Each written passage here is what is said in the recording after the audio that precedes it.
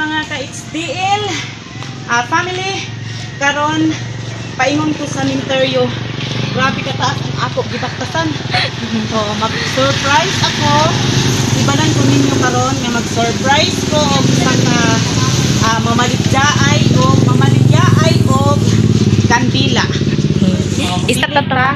I-stop na. Pupili ta or bata ba o dagko. Okay. Sibog na. Hanap ta, hanap, hanap, hanap, hanap. Paingon mi sa interview guys. Pasulod na mi, pasulod. Ito. Ah, okay, okay, okay. Ah. Dali ah. Oh. Nakakita ni Og. Isang kabata nga. Isay nga lali mo lang.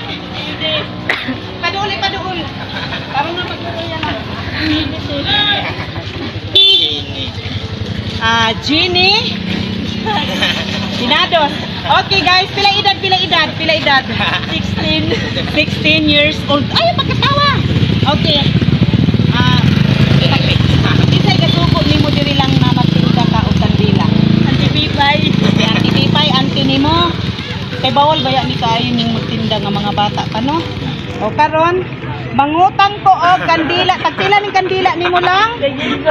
Tag 5 mahal jud kaayo ang kandila diri mga XDL family. Ah, kini siya nag-eskwela sa nag-eskwela ni siya sa high school. Ah, high school, elementary, ay no, high school, Matli High School. Okay. Ah, isa tula,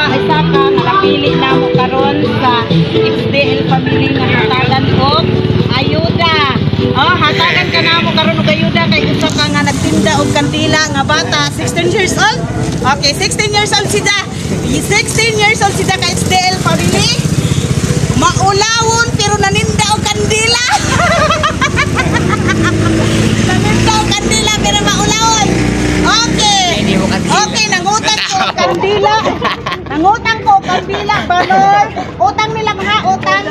Okay, tungod sa nakautang ka na ko, ako kang hatagan og Cheese. worth of 300 pesos gikan sa XDL family. Okay, ang may imo ikasulti sa XDL family lang. Ang may mo kasulti. Dito ka sa XDL magpa-salamat. Salamat. Salamat. Salamat. Salamat sa Salamat sa ayuda. Okay mga ka-HDL, isa ni siya ka bata nga. Na siya mama pero gisugo daw kuno siya sa iyang auntie maninda o kandila. So siya man ang akong napili karon. Siya ang akong hatagan og worth of 300 pesos. Salamat, eh. Yay! Imo na na lang. Kay ikaw man ang ako napili. Salamat HDL family sa imong ayuda. Ah, gikan sa HDL Human Daily Life ah, TV channel. Yay! Salamat, salamat. Thank you, B. Okay guys, sa atong sa atong sumpay sa Sugilanon dinhi sa Minteryo Area of Responsibility. Mga ka HDL family na ako'y nakita nga usa ka bata nga namulot og kandila dinhi sa Minteryo para kuno siya nga makabalon. Ibaligya ra pud niya. Okay guys, atong hanapon ang bata nga namulot og og kandila.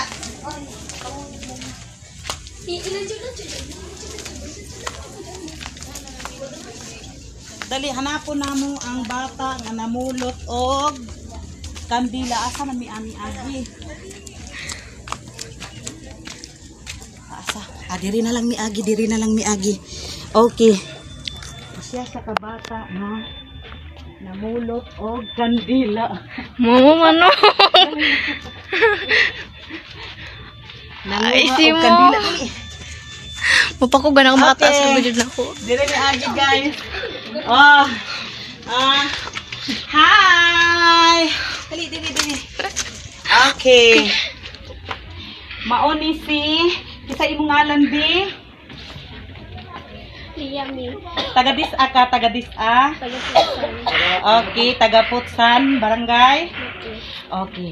Siya guys ang akong na diskubrihan nga nanguha og kandila sa minteryo tungod sa ilang kalisod. Sexy lang siya lagtawon pero pertining lisura mga ka-HDL. Gwapa kay siya oh. Onya, nadiskubrihan ako dinhi sa minteryo pagsaka na ako paingon sa minteryo. Tungod sa iyahang kabuutan, unsa man nimo lang? Ibaligya. Asa man nimo ni ibaligya sa hardware? Asa nimo ni ibaligya sa katong mamalitay og kandila? Para ngano man nga magbaligya man ka? Para pambayon. Pangbalon daw kuno sa eskwelahan mga ka-HDL family.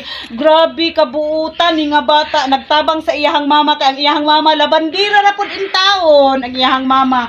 Maong tungod sa ako kaluoy sa iyahang nga nagtan-aw ganina. Ako siyang nakit-an nga namulot og ah, kandila.